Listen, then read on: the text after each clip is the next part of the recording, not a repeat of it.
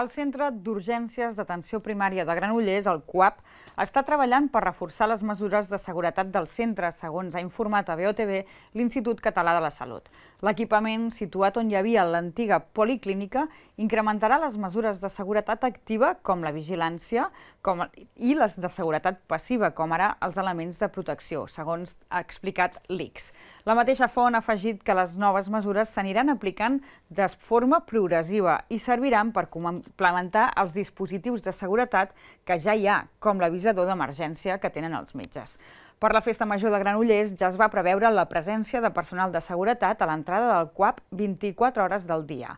Les mesures arriben després que treballadors del centre fessin públic al diari El 9-9 que reben agressions, amenaces i vexacions de forma reiterada per part d'alguns usuaris.